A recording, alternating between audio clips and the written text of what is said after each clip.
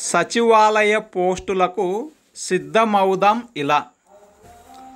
గ్రామ వార్డు సచివాలయం పోస్టులకు సెప్టెంబర్ ఇరవై నుండి రాత పరీక్షలు నిర్వహించనున్నట్టు ప్రభుత్వం ప్రకటించింది.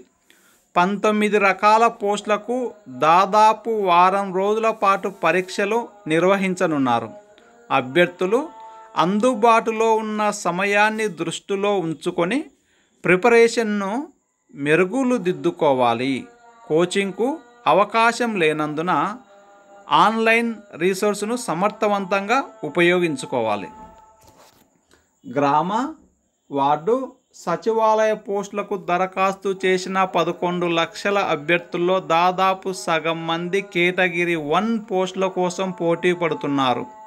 వీటిలో గ్రామ panchayat secretary grade five ward administration secretary గ్రామ మహిళా police ward welfare and education assistant పోస్టులు ఉన్నాయి.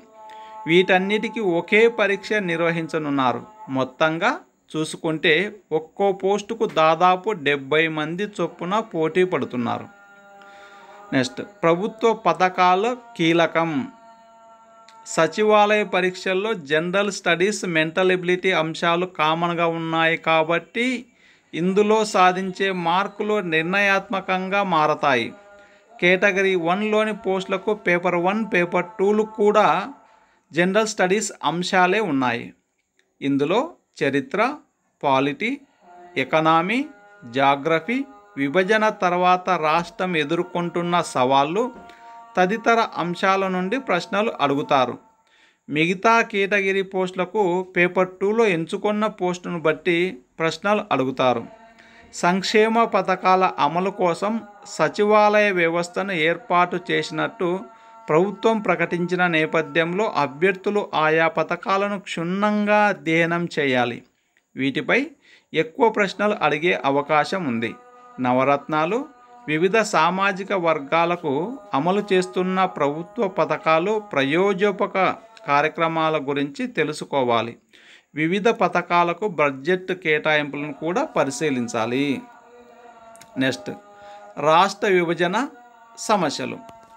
కేటగిరీ వన్ పోస్టుల్లో మొదటి పేపర్కు కొనసాగింపుగా రెండో పేపర్ ఉంటుంది. ఇందులో పాలిటీ ఎకనామీ జాగ్రఫీ హిస్టరీ రాష్ట్ర విభజన వంటి అంశాలను మరింత లోతుగా అడిగే అవకాశం ఉంది.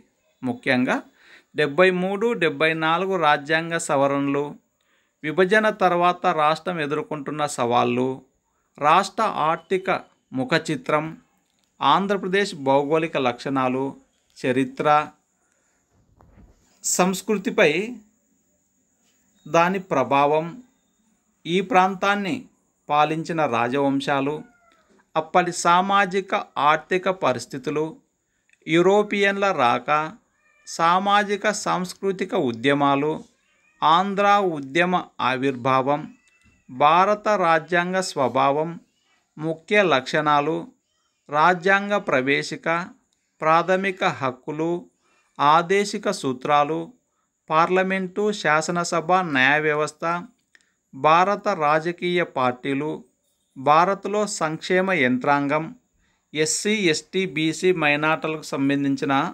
రాజ్యాంగ. రాజ్యాంగ రక్షణలు వంటి అంశాలపై పట్టు సాధించాలి. ఈ పేపర్ కోసం గ్రూప్ వన్ టూల కోసం ఉద్దేశించిన ప్రామాణిక పుస్తకాలు చదవడం ప్రయోజనకరం. గత ప్రశ్న పత్రాల ప్రాక్టీస్. ప్రభుత్వ పథకాలు బిల్లులు ప్రభుత్వ తాజా నిర్ణయాలపై దృష్టి పెట్టాలి. ముఖ్యంగా ప్రభుత్వ పథకాల పేర్లు వాటి లక్ష్యం ఖచ్చితంగా తెలుసుకోవాలి. రాష్ట్ర ప్రభుత్వ అధికారిక వెబ్సైట్ల ద్వారా ప్రభుత్వ విధానాలు అభివృద్ధికి సంబంధించిన అంశాలను తెలుసుకోవచ్చు.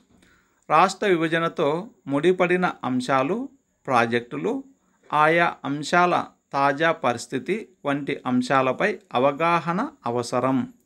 సచివాలయ పరీక్షల గత ప్రశ్నాపత్రాలను తప్పనిసరిగా ప్రాక్టీస్ చేయాలి. ఏపీపీఎస్సి గత నియామకాల ప్రశ్నాపత్రాలు కూడా ప్రాక్టీస్ చేస్తే మంచిది. Thank you for watching.